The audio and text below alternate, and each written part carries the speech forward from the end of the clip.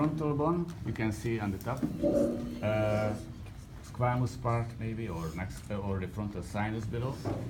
Uh, second is the, where was it? Yes, next to the sinus, because the uh, next to the sinus is open, so lateral wall is removed. You have to be careful with this because that's why we see something uh, special. I uh, show this later. Number three is below. Don't do this, but I will open it. Mm-hmm. Okay, because.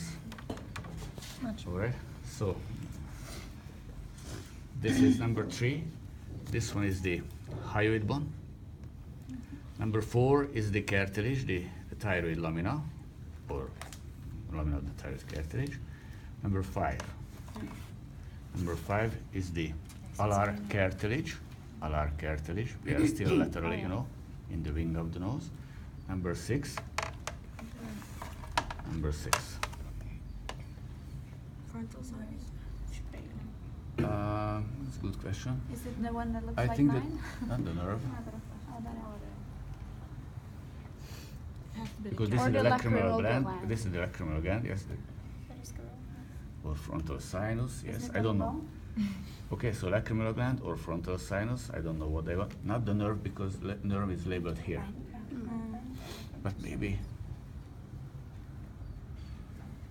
Isn't it on the bone? I think there's the if answer the sheet if is it here. is on the bone. Yeah, but I don't want to see. Uh, this will be the frontal sinus. If the gland, but then I think they should have put on this. Okay, so maybe the frontal sinus. Seven. Otherwise, this is the gland, but we haven't seen the lacrimal gland. Number seven is where? Okay.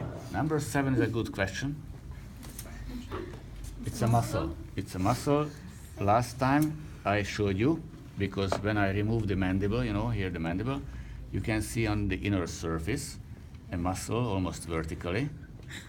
That is the, which one? Which is vertical? The medial pterygoid, the medial pterygoid. Okay, medial pterygoid, this one. Number eight. Here. On the floor. Mylohyoid. Mylohyoid, yes. Innervation is the mylohyoid nerve together with the anterior belly of the gastric. Exactly. Okay, number nine. Inside. Here. Uh, it's a good question. It's in a higher. Hyoglossus wants to be.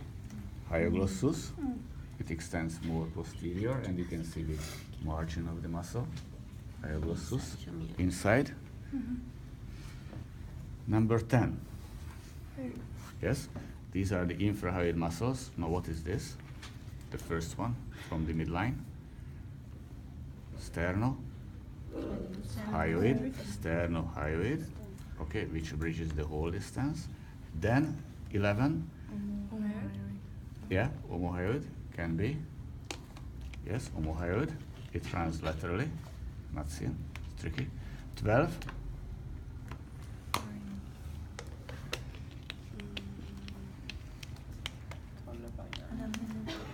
This is the from the thyroid cartilage to the hyoid bone. Thyrohyoid is tricky. And if you look at that, this is the oblique line on the thyroid cartilage. If you remember this uh, little ridge on the cartilage, uh, so thyroid lamina. And lat- posteriorly, we have another origin. What was this? Which goes backward, you see? Constrictor. Yes, it's part of the constrictor, the thyropharyngeus. Okay, so 12 is in front, one of the infrahyoid muscles, the thyrohyoid, and 13 is running backward. This is the uh, thyropharyngeus as the. Good morning.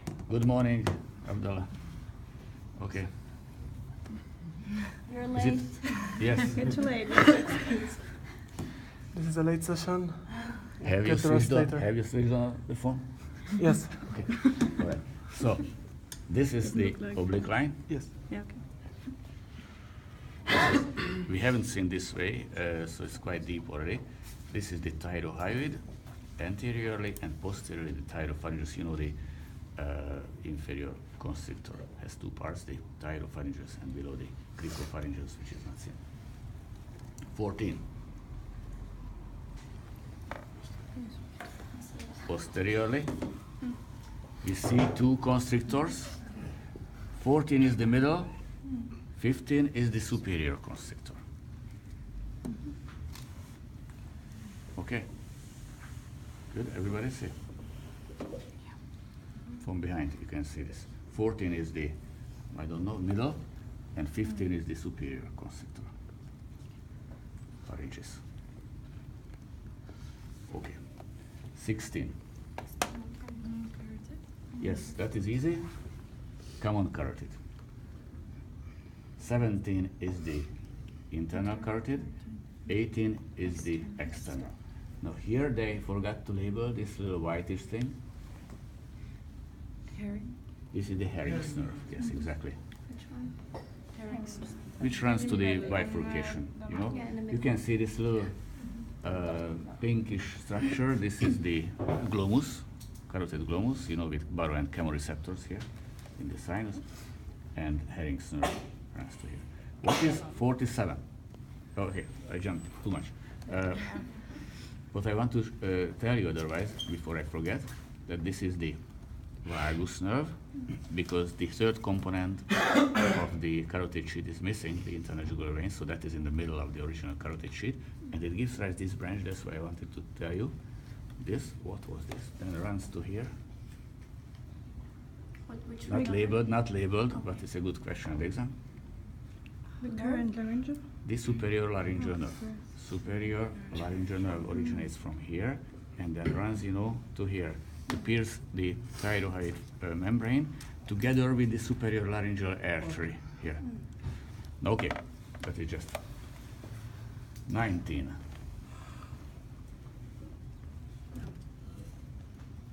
Okay, yes, thank you. This is the first branch of the external uh, carotid, superior thyroid artery.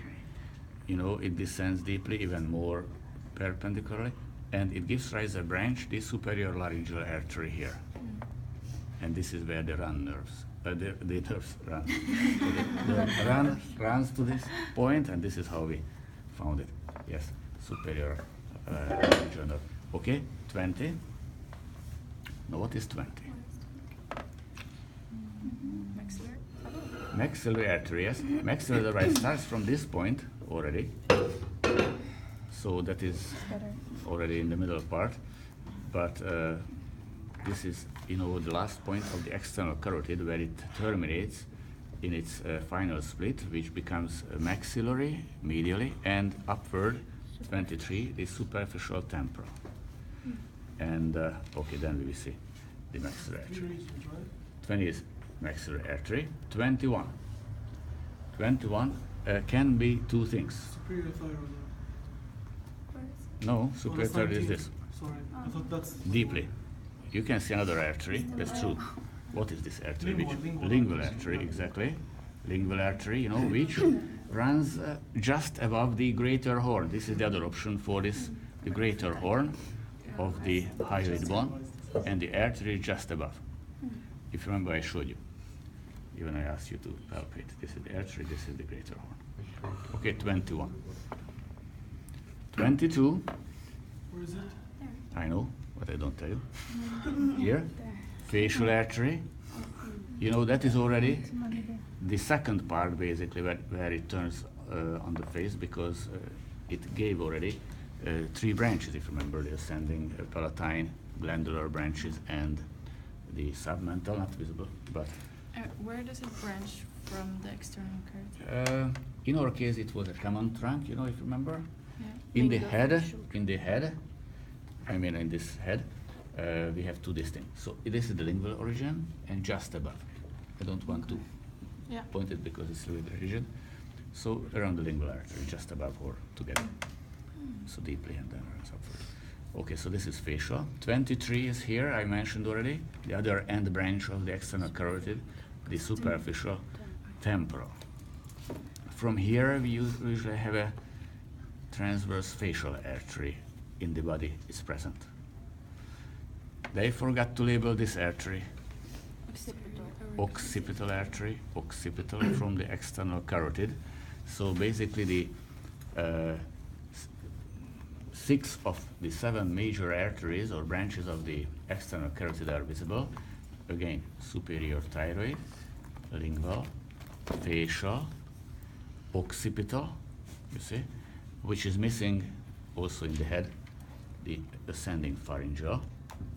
And the final two are the maxillary artery, anterior and medially, and the superficial temporal. In the textbook, you may find other two, sternocleidomastoid and posterior auricular. These are not visible here, and we don't teach them, so not so important. If you know, of course, it's all right. 23, 24. 24. If this is the artery, I would ask the artery. This is a, this is a branch of the Maxillary. What is Middle this? no. Middle meningeal, yes, middle meningeal. Middle meningeal, very good, Abdullah.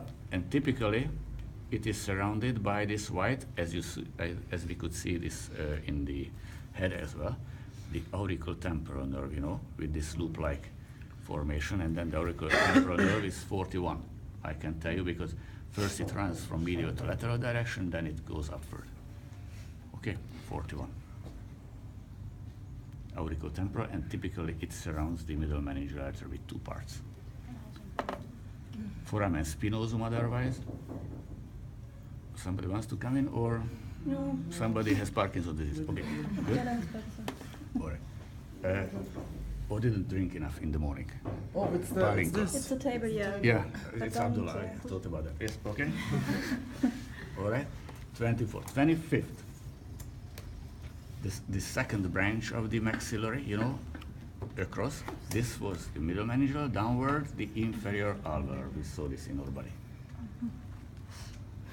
Okay, 26. Where is it? 25th is this. 2051 or 26? Downward. But that's 26 is the next. No, 26 is interesting. We haven't I think because seen. it's superficial. It I, should be I, we haven't seen this way, the nerve. Ah, I know it is. It's the angular artery. I don't think that crista galli is asked. Angular. I think rather the bulb, the olfactory bulb would Ah, I thought it was doing or arteries. Galli, but uh, uh, because 27 is already the olfactory tract.